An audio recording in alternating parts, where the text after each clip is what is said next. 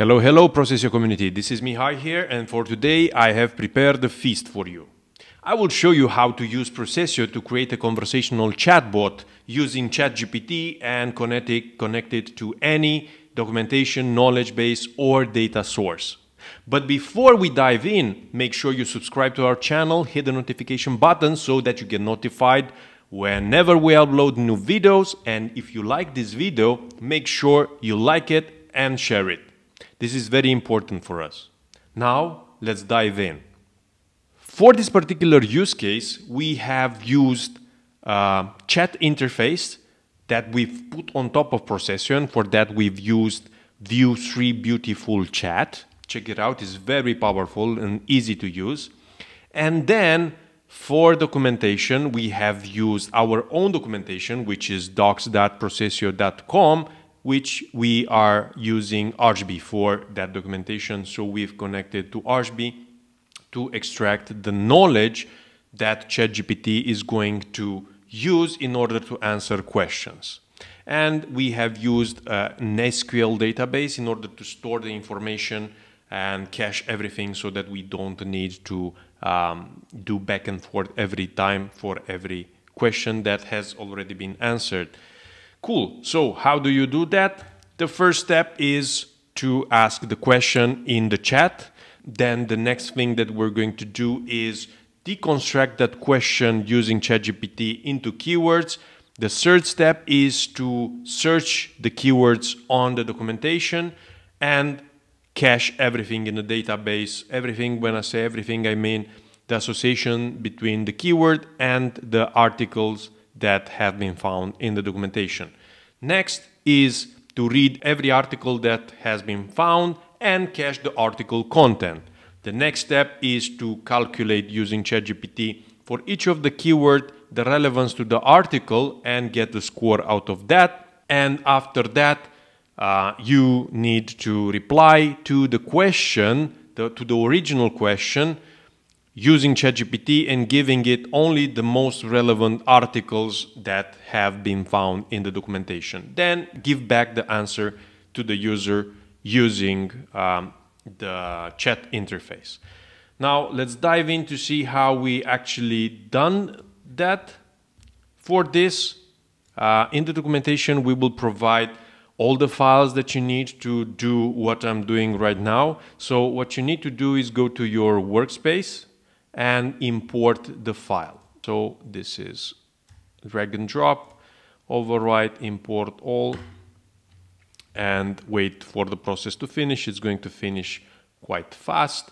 And there are several things that you need to do before uh, everything works. So you will first of all notice you have uh, several processes, uh, you have a data model, and you have several credentials.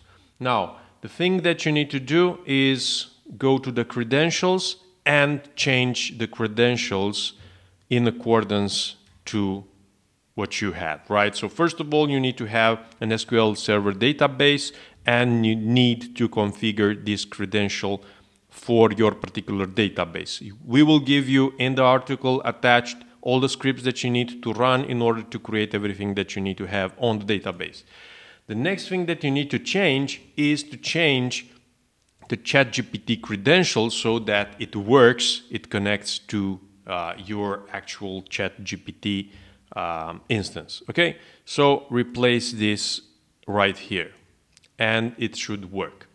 Then you need to do two more things in order for everything to work. The first thing is to go at this process called ChatGPT, which is basically a process that we've built just as an interface to ChatGPT. It cleans in the input that you get. You also have the history of the chat that it also gets cleaned a little bit. And the thing that you need to change is here. In the headers of this call API action that actually is the action that connects to ChatGPT, you need to change the value of the OpenAI organization. Both the bearer of the ChatGPT and this uh, uh, organization parameter that you need to put in the header, you will find in the ChatGPT OpenAI interface in your own account. Now, the last thing that you need to do uh, in order for this to work out, especially if you are using Archbee as well, you need to go to uh, this process, Archbee get articles by search term, go to this action, search Archbee, and make sure that you have this information changed.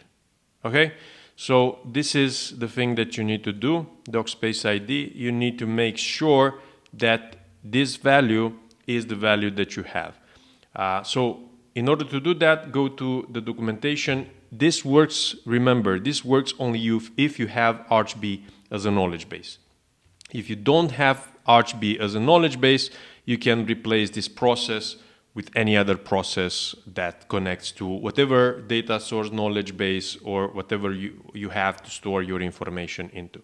Now let's go back to how do we find if this value is correct, sorry, this here DocSpace ID. It's quite easy. If you use Archbee, just go to documentation, click inspect as I just did here, then go to search and here make sure you are on the network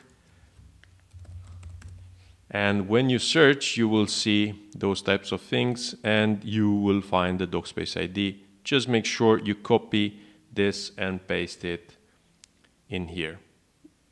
That's it. So those are the four things that you need to do in order to make this process work. That you, those are the things that you need to change in the processes. Now, I'm not going to spend time in um, changing those at the moment. I have a workspace where everything is set up and it works nicely. So I'm going to move to that workspace and show you how easy it is to use. Now, as I mentioned, you have the chat interface where you can write questions. This is the chat interface that you can test.